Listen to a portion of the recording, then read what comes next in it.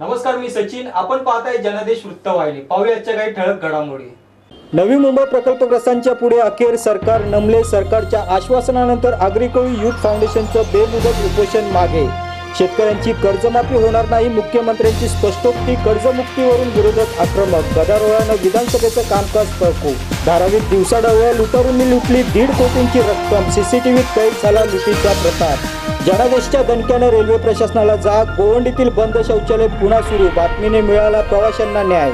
आणि केंद्र सरकारी कर्मचाऱ्यांच्या महागाई भत्त्यात दोन टक्क्यांनी वाढ आता प्रतीक्षा राज्य सरकारी कर्मचाऱ्यांची.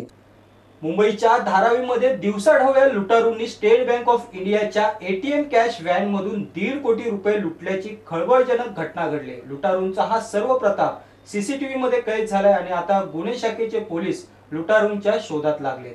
मुंबईच्या गजबजलेल्या धारावी परिसरात अगदी सहजतेनं कोट्यावधींची कॅश लुटण्यात आले. धारावीतील O N G C building जंक्शनवर असलेल्या स्टेट बँकेच्या ए टी एम कॅश व्हॅनमधील दीड कोटींची रक्कम लुटारूंनी लुटले. हा सर्व प्रताप परिसरातील सीसीटीव्हीत कैद झालाय. अगदी सहजतेनं सर्वांच्या डोळ्यांदेखत या दोघांनी पैशानं भरलेली ट्रंक उचलून नेली. या ट्रंकमध्ये तब्बल दीड कोटींची रक्कम असल्याची शक्यता वर्तवण्यात येते. बँकेचे कर्मचारी एटीएममध्ये पैसे भरण्याकरिता आले असताना एकाने व्हॅनच्या ड्रायव्हरला बोलण्यात गुंतवून दोघांनी पैशाने भरलेली ट्रंक लुटली. या घटनेचा तपास आता मुंबई पोलीस करतायत. मात्र दिवसाढवळ्या अगदी सहजतेने केलेल्या या लुटीची चर्चा सर्वत्र होते. कॅमेरामॅन मसूदसह कीर्ती पवार जनादेश वृत्तवाहिनीकरिता.